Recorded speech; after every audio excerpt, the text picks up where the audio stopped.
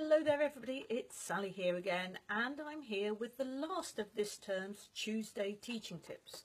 And because it's nearly Easter, bit of a clue here, here's a song. Some of you might know this, if you don't, here it is. Easter eggs, Easter eggs, yellow, green and blue. Easter eggs, Easter eggs, one for me and you. Easter eggs, Easter eggs, yellow, blue and green. Easter eggs, Easter eggs, nicest I have seen. So two verses, both verses exactly the same musically, words are slightly different. I won't teach it to you, we're giving you the handout to go with this, so uh, do feel free to download that and use this afternoon, that's certainly what I'm going to do.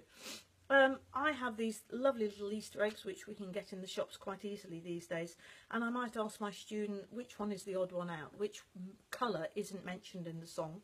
Um, I might also ask them to put them in order. And all these little activities give me an opportunity to sing the song again without the pupil kind of switching off or getting bored.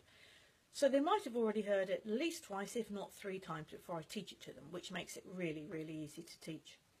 Um, having sung the song, um, together, we might then um, think about the phrases, how many phrases. And I'm going to work at them to get them to work out how many phrases there are, which phrases are the same, which phrases are different, um, which phrases have a descending passage. Do, do, do, do, do. How many pitch levels are there in that descending passage? All these little questions that I'm going to ask to see if I can lead them towards being able to work it out in their head because this is the beauty of doing songs and this is the beauty of doing of singing in your piano lesson. The point of singing is to help the children build the mental model and the mental model in their head will help them to realise it more easily on the keyboard. That means that when they come to read notation, if they see that same shape, and of course music is all about shapes and patterns, if they see that same shape on the notation, they have a mental model of it already and therefore the hands also know that shape, the muscles have a model of it and therefore it's easier to realise than then if they're just working at individual notes on notation. So we might work out the phrases, we might work out the fact that Easter eggs, Easter eggs, it's just a so so mi, so so mi.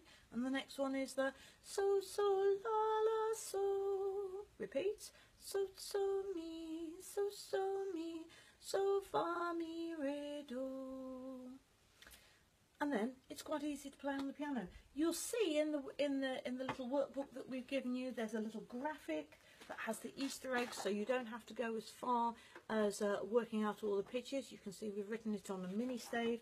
You've got the words, and you've got um, an I can sheet for your pupils, and finally you've got a little accompaniment. So here it is. Let's see if I can.